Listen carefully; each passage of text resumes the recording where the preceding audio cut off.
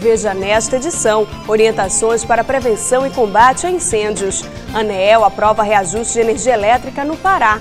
Com mais de 300 mil trabalhadores em greve, entenda como as paralisações afetam a vida da população. No quadro de profissões, conheça o trabalho do carimbeiro. Dom Eliseu sairá da lista de municípios que mais desmatam a Amazônia. Cáritas e movimentos da Arquidiocese de Belém realizam ações e planejam trabalho pastoral. Sírio 2012, produtos típicos da festa nazarena estão mais caros. E estudantes fazem desfile na abertura da Semana da Pátria. O Nazaré Notícias desta segunda-feira, dia 3 de setembro, já está no ar.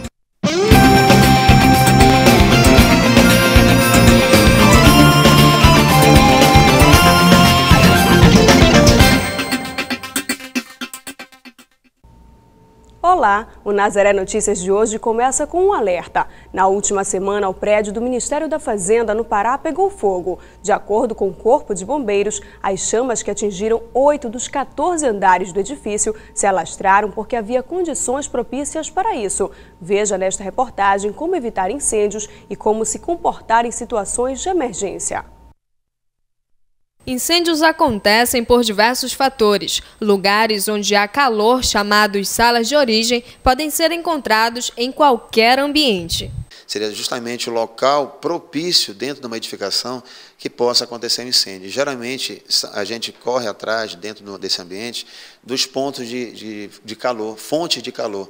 Então, onde eu tenho fonte de calor? Eu tenho em cozinha, que pode ser o gás de cozinha. Eu tenho muita fonte de calor, instalação elétrica. O fogo se alastra por encontrar um espaço repleto de materiais que servem como combustível para o um incêndio. O primeiro cuidado que a gente vê em prédio alto, edifício alto, é a questão da saída de emergências. Tá? Então, geralmente, elas, é, as pessoas podem obstruir ou não as saídas. Não era o caso de lá, mas digo assim, a gente já vai em prédio residencial, por exemplo, que tem muito, é, as pessoas colocam lixo nas escadas, nas anticâmaras, que é aquele local que, que vai do corredor para a escada, chama de anticâmara. O incêndio que atingiu o prédio da Receita Federal em Belém encontrou lugar propício para se alastrar, o que dificultou o trabalho dos bombeiros. No caso lá da Receita, eu tinha panos de vidro totalmente vindo de, de, de laje a laje, tá certo? Então, com isso, houve um alastramento muito rápido, porque quebrou o vidro e entrou o fator ventilação também. Todos os prédios possuem um sistema para evitar ou mesmo conter os incêndios, mas também é necessário uma equipe que possa atender as pessoas em um primeiro momento. Bom, no caso de prédios comerciais, por exemplo, ou até residencial multifamiliar, a gente pede que as pessoas tenham pelo menos um treinamento mínimo. Um porteiro, ele tem que ter um treinamento, ele tem que ter feito pelo menos um curso de 8 horas aulas ou 10 horas aulas de brigada de incêndio, para ele saber utilizar o extintor. A energia elétrica está mais cara no Pará. O reajuste anual autorizado pela Agência Nacional de Energia Elétrica está acima da inflação. Para residências, a alta foi de 7,49%. Para empresas, foi de 14,9%. O reajuste médio, de acordo com o DIEESE Pará, foi de 10% cerca de 1 milhão e 83 mil unidades consumidoras em 143 municípios do Pará são atingidas pelo aumento. Segundo o DIEESE, os reajustes estão acima da inflação e a elevação acumulada nas contas de energia para o consumidor residencial paraense desde 1998, período da privatização, já chega a cerca de 245%.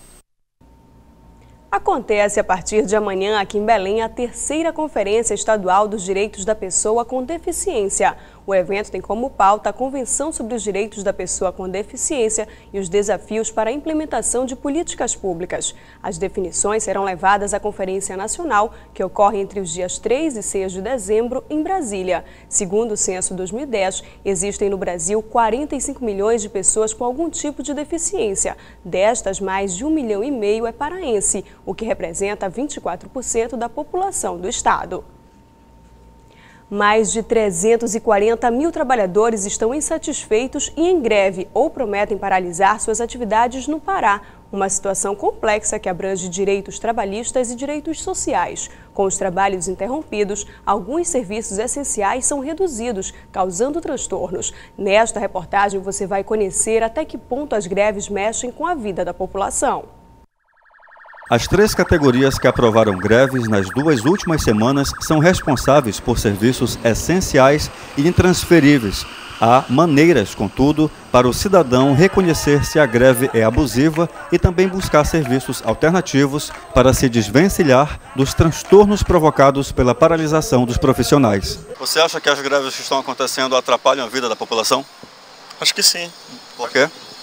Porque é, acho que eles não ficam vendo assim o lado da, do, do cidadão, entendeu? Que precisa utilizar o, no caso os bancos, né? Eles precisam utilizar os bancos e eles só olham o lado deles. De algumas eu acho que prejudica bastante, ainda mais para quem precisa de algum precisa como tipo assim de algum serviço dessas pessoas que estão fazendo greve, acho que atrapalha um pouco. De outras não. De acordo com o presidente da Associação de Advogados Trabalhistas do Pará, José Maria Vieira, é necessário observar se os grevistas avisaram o patrão ou a população para as possíveis greves. Essa lei, a lei 7783, é uma lei que regula um direito do trabalhador de brigar, de lutar por uma justa remuneração tanto econômica quanto de condições de trabalho, do seu, do seu trabalho. Segundo a lei, fica a critério do empregador pagar ou não os dias parados. A greve dos Correios, por exemplo, deixou milhares de brasileiros receiosos quanto à entrega de correspondências. A greve nacional foi justificada pelos salários iniciais que os servidores recebem, os carteiros, no caso, com vencimento de 800 reais um problema que envolve sindicatos e órgãos federais como o Ministério das Telecomunicações. A educação estadual e federal também levantou bandeira de greve e compromete os estudos de milhares de estudantes. Se esse prejuízo decorrer da paralisação de atividades essenciais, consideradas essenciais pelo, pela lei ou pelo, pelo tribunal que está julgando aquele dissídio, é, a pessoa, em tese, ela, ela, ela pode, dependendo da situação de cada caso. Porém, o que importa considerar é que a greve, não existe greve sem, sem, sem, sem traumas. Isso faz parte do próprio é, é, decorrer, da naturalidade da greve. Então, é, a, a ideia da, da lei é justamente que regule a, a, a permissibilidade deste direito por parte do trabalhador, mantendo, contudo, serviços considerados essenciais, tanto do ponto de vista qualitativo quanto do ponto de vista quantitativo. A dúvida para a maioria das pessoas, essa greve é um direito constitucional. A greve é um direito constitucional garantido pela Constituição brasileira e essa lei é, é, é anterior à Constituição, inclusive, né, e, é uma, e é um direito universal do trabalhador. Ele tem o direito de lutar por, por condições melhores de trabalho. Isso faz parte da própria natureza, das próprias regras do, regras do capitalismo. O direito de greve também. O atleta paraense Alan Fonteles conquistou a medalha de ouro na final dos 200 metros nas Paralimpíadas de Londres. Ele superou seu principal adversário, o sul-africano Oscar Pistorius. Paraense de Marabá, Alan teve duas pernas amputadas quando tinha 21 dias de vida. Aos oito anos, ele conheceu o atletismo e começou a competir com próteses de madeira. Aos 15 anos, ganhou sua primeira prótese de fibra de carbono e aos 16, em 2008, disputou as Paralimpíadas de Pequim. Um dos símbolos da burocracia deu origem a uma profissão pouco conhecida, a de carimbeiro. Para conhecer este ofício, nós vamos contar a história de um carimbeiro que exerce a função há mais de três décadas. São 34 anos de profissão, uma dedicação que dá orgulho em Tavares. Eu tenho uma, uma felicidade imensa de trabalhar com carimbo. Eu gosto, eu sou apaixonado por isso, sinceramente falando. De papel em papel, a obra do carimbeiro ganha forma. Com a tecnologia, a máquina reduziu o trabalho. Quando começou em meados da década de 70, Tavares levava horas para produzir um carimbo. O processo era todo manual. Hoje, 10 minutos são suficientes para confeccionar até 20 unidades. Eu ouvia muito pessoal falar, ah, carimbo daqui com mais um tempo vai, não vai existir mais, porque já vem na, nas, todos no documento, é, é só assinar e tudo. Só que eu vi diferente, eu achava que não ia acontecer isso. Então por isso que eu investi cada vez mais no carimbo, vendi a gráfica e fiquei só com carimbo. São investimentos só em carimbo mesmo. As primeiras peças em madeiras chamadas convencionais ganharam forma de plástico. Com a modernização, surgiram os automáticos, que possuem várias formas e são os mais usados. Para os requintados, as canetas carimbos, que podem custar de 80 a 100 reais. Etimologicamente, a palavra carimbo surgiu no período da escravidão, quando os escravos africanos eram embarcados para as Américas e recebiam a marca de ferro para demonstrar que estavam quites com todos os impostos e as taxas devidos à coroa.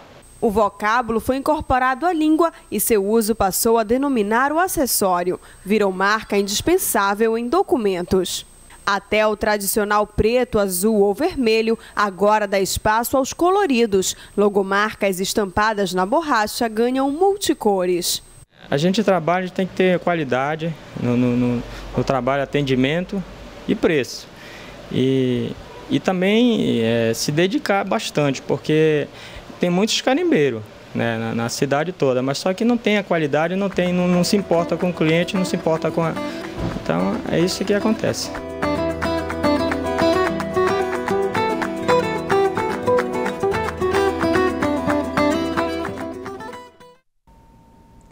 Eleições 2012. Belém está em segundo lugar entre as capitais brasileiras com o maior número de candidatos a prefeito. Aqui na capital paraense foram registradas 10 candidaturas ao maior cargo do Executivo Municipal. Belém empata em segundo lugar com Fortaleza. A primeira colocada é São Paulo, onde 12 candidatos concorrem às eleições deste ano. As informações são do Superior Tribunal Eleitoral. E ainda sobre eleições, o TSE aprovou o envio de Força Federal para 39 municípios do Pará durante a realização do pleito deste ano. A Força Federal atuará em 39 municípios do estado. Os pedidos de envio da Força Federal foram feitos pelo TRE com base em solicitações de juízes eleitorais para a manutenção da ordem da segurança pública no dia da eleição nos municípios. Mais um município do Pará deve deixar a lista dos que mais desmatam a floresta amazônica. Dom Eliseu, no sudeste do estado, reduziu consideravelmente os índices de desmate. Quem tem mais detalhes é o repórter Ivaldo Souza. A notícia foi anunciada durante a quinta reunião do Comitê Gestor do Programa Municípios Verdes, na sede da Federação das Indústrias do Pará. Para sair da lista negativa, Dom Eliseu conseguiu cumprir as principais metas do programa Municípios Verdes, coordenado pelo governo do estado. São sete critérios para se tornar um município verde, entre eles a redução do índice de desmatamento, a inclusão de pelo menos 80% do território no cadastro ambiental, o licenciamento ambiental rural e também o plano de recuperação de área degradada mas o que se observa é que muitos municípios paraenses estão longe de conseguir esse título de município verde por conta do aumento de queimadas e também de desmatamento. Ivaldo Souza para o Nazaré Notícias. E você acompanha ainda nesta edição. Caritas e movimentos da Arquidiocese de Belém realizam ações e planejam um trabalho pastoral. Sírio 2012. Produtos típicos da festa nazarena estão mais caros. E estudantes fazem desfile na abertura da Semana da Pátria. Voltamos com Nazaré Notícias e agora falamos sobre concurso público. A Companhia Docas do Pará divulgou edital para cargos de nível médio e superior. Os salários variam de R$ 1.047 a R$ 2.142. O valor da taxa de inscrição é de 50 reais para todos os cargos. As inscrições ocorrem no período de 13 de setembro a 22 de outubro e devem ser realizadas pelo site fadesp.org.br. As provas serão aplicadas no dia 11 de novembro. A Arquidiocese de Belém realiza, por meio da Caritas Metropolitana, ações sociais, tendo como foco principal a assistência a quem mais precisa. Neste fim de semana aconteceu o primeiro feirão da Caritas. A renda será revertida para a manutenção das ações. Este é o primeiro feirão promovido pela Caritas Arquidiocesana. A instituição tem como foco principal a caridade. A Caritas é uma instituição de personalidade jurídica que tem como, como missão a caridade, né? A caridade sob o foco cristão e social. Né? Vendo esse homem, esse ser humano, como um ser na sua totalidade e dando oportunidade dele ter, vir a ter uma vida melhor dentro do contexto da sociedade. O Feirão da Caritas teve sua estreia na paróquia de Santa Luzia e foi acolhido com grande alegria.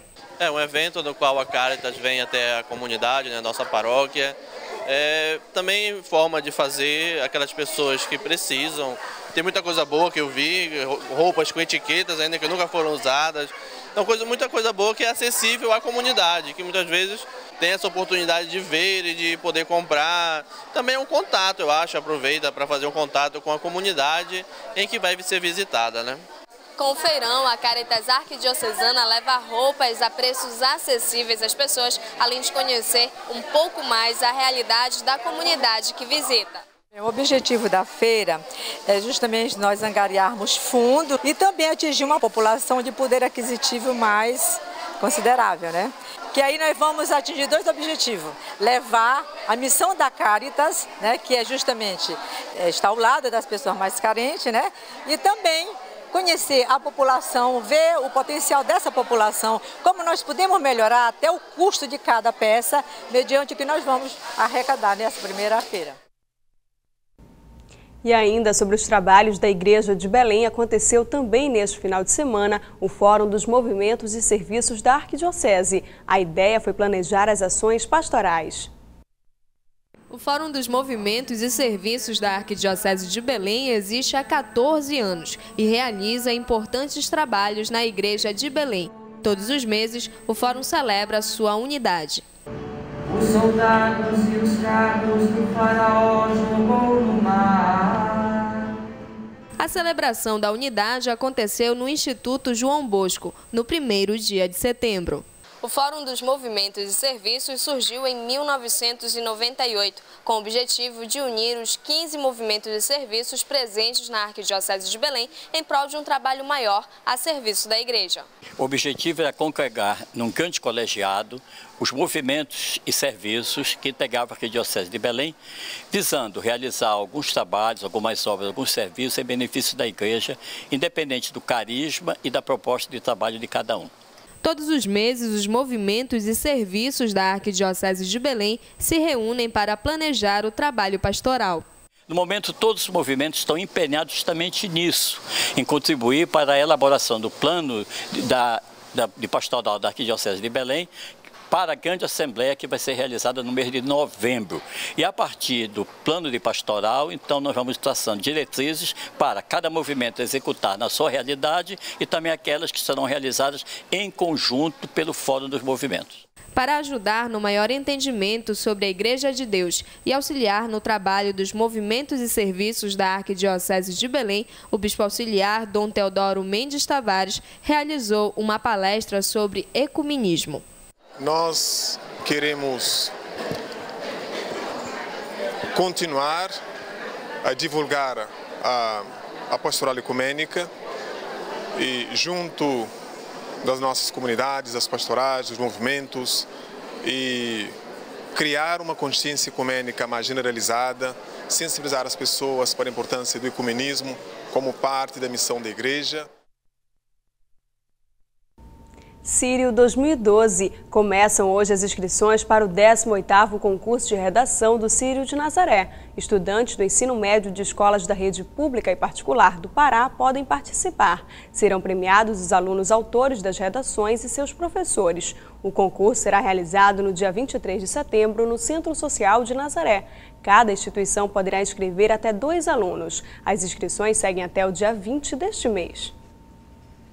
E com o Sírio se aproximando, os preços de produtos muito consumidos nesta época aumentam. O Diese Pará realizou a primeira pesquisa em feiras livres, mercados e supermercados de Belém. O resultado aponta que produtos como o pato, o frango e o tucupi já custam mais caro ao consumidor paraense. Entre os dados levantados pelo DIEESE, com impactos significativos no orçamento dos romeiros e turistas no Sírio, está o tradicional almoço do Sírio. São pesquisas semanais levantadas a partir do início do mês de agosto de cada ano em diversos locais de vendas dos principais produtos do período, com o intuito de traçar a trajetória de preços dos alimentos, especialmente os que irão compor o almoço do Sírio. A pesquisa ela mostra o comportamento dos preços né, dos principais produtos que fazem parte da ceia ou, na realidade, do nosso tradicional almoço do Sírio. Agora a gente já partiu para os levantamentos para verificar como é que está o preço do pato, como é que está o preço da maniva, tucupi, o frango e tudo mais. E a gente encontrou é, preços em alta e variações com certeza significativas. O pato vivo, comercializado basicamente nas feiras livres de Belém, como já era esperado, está em falta e só deverá aparecer em quantidades maiores nos últimos 15 dias que antecedem o sírio. Já o pato congelado, comercializado basicamente nos supermercados, já pode ser encontrado nas cinco maiores redes da Grande Belém, só que em pequenas quantidades produto da mesa, que no caso é o pato, hoje ele está variando ali na casa dos 40 reais. Né? A, ele não está ainda farto nas feiras, você tem uma ou duas aqui fazendo a comercialização dele. Se nós atravessarmos das feiras e formos aos supermercados, a gente vai encontrar o pato congelado. Esse também está mais caro, está variando, ali na casa dos 10 reais o quilo nos supermercados. E a gente tem também, ali, aliado ao pato, você tem outras alternativas, como por exemplo o frango resfriado, o frango congelado. Esses também, em relação ao ano passado, estão trazendo em si elevações de preço. O, o, o, o preço do, do, frango congelado, por exemplo, está variando aí na casa dos R$ reais. Se eu sair daqui também do supermercado e voltar à feira, esse mesmo frango, e aí no caso vivo, está variando ali na casa dos 6, 5 reais. Então, nada, nenhum preço nesse exato momento, ao se visualizar o almoço do Ciro, está mais barato em relação ao mesmo período do ano passado. Nos últimos 22 anos, o Diese Pará vem fazendo um acompanhamento bastante minucioso com informações do próprio órgão ou em conjunto com a diretoria da Festa de Nazaré a respeito do lado econômico que envolve a grande festa e seus reflexos na economia do Pará, com a geração de emprego e renda. Mas para quem trabalha com números e cálculos, uma dica para que o almoço do Sírio caiba no bolso. As dicas elas se dão no sentido da pesquisa. Né? As pessoas aí com orçamento um pouco apertado, a gente está sendo uma, uma, série de elevações de preços, a alimentação do Estado não foge essa regra, o importante sempre é cada vez mais você pesquisar. Entre a comodidade que é oferecida e os preços que são ofertados, você tem diferenças de preços aqui que vão na casa dos 20% a 30%. Né? Então é importante pesquisar, é importante ter prudência na hora de escolher esse produto e, com isso, tentando é, é, minimamente trabalhar o seu orçamento e com olho aqui nos preços, as pessoas possam garantir lá na frente um delicioso almoço para o ser. Na cidade de Santarém, oeste paraense, o fim de semana foi de desfile de estudantes na abertura da Semana da Pátria.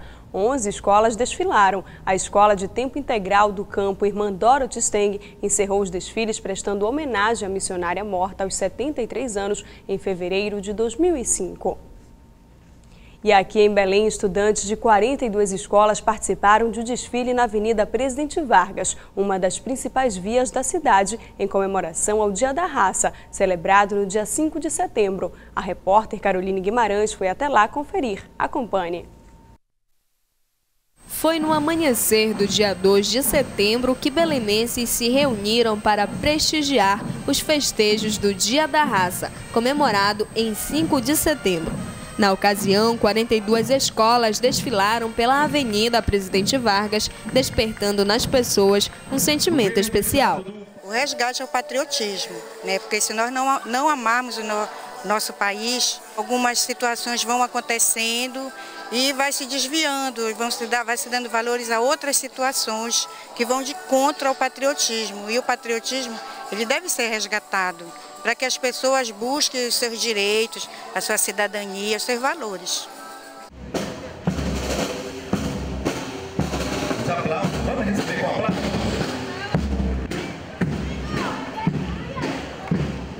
Prestigiar o desfile do Dia da Raça tinha motivos específicos. Eu vim prestigiar minha filha, que é dos Debravadores e está desfilando hoje. Por aqui estavam também aqueles que vieram garantir a segurança das pessoas.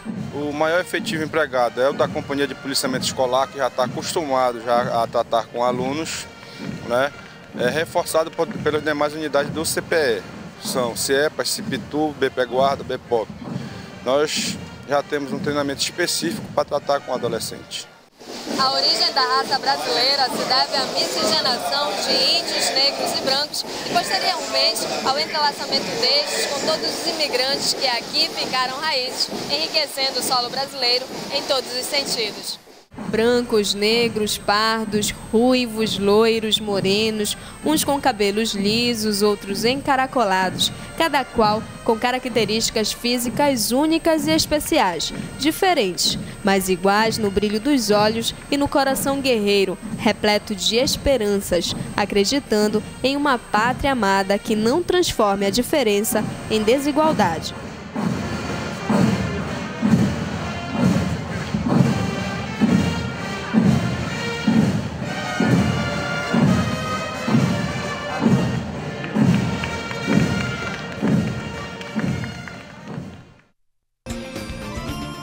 Você poderá assistir as matérias exibidas aqui no Jornal de hoje no portal da Fundação Nazaré de Comunicação. Basta acessar fundacionazaré.com.br ou entrar na nossa página no Facebook. E o Nazaré Notícias de hoje fica por aqui. A gente se encontra em uma próxima oportunidade. Até lá!